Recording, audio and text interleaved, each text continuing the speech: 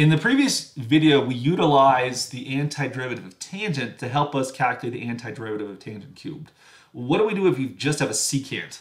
Now, I want to point out to you that if you just have a if you have a secant squared, life is wonderful for you uh, because we know the antiderivative of secant squared is a tangent, tangent x plus c. So that one's pretty simple right there. But if you have just a secant, what do you do? Because uh, we can't really utilize a Pythagorean identity because we need at least a secant squared. Um, otherwise, square roots get into the game, and that's not going to help us all. Um, we can't do we can't do the other substitute substitution because we need a tangent in a secant to make that one work. So this one might have you scratching your head for quite a while. Um, this one's a bit crafty.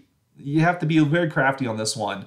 Um, but as it as we're going to use other examples where we need to know this antiderivative, this is one sort of just telling you. Sort of like an ivory tower type problem. One might not have expected how in the world one ever came up with this, but this is this is one you're going to want to memorize, and this is the derivation of it.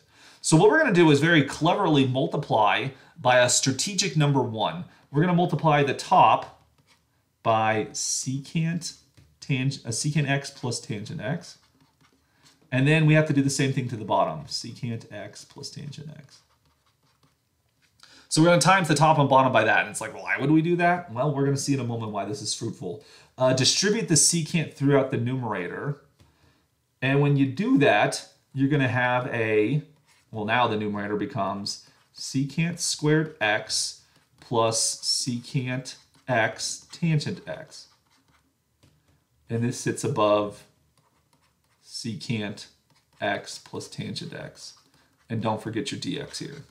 So this is a really clever multiplication because you'll now notice in the numerator we have a secant squared. A secant squared is a derivative, right? Um, a secant squared is the derivative of tangent. Oh, looky here. There's our good friend right there. Um, and then on the other hand, if you look at secant x tangent x, it's likewise a derivative, and it's the derivative of, oh, look, secant x. So with this, with, with this uh, multiplication we did here, we actually set up for a very nice u substitution. Set u to be secant x plus tangent x. Don't know why there's a d there. Secant x plus tangent x. Then du would equal, the derivative of secant is secant x tangent x. The derivative of tangent is secant squared x dx. And that's exactly the situation we have right here. This integral will then become the integral of du over u. How fantastic. That's really great. And so the antiderivative of du over u, of course, is the natural log of u.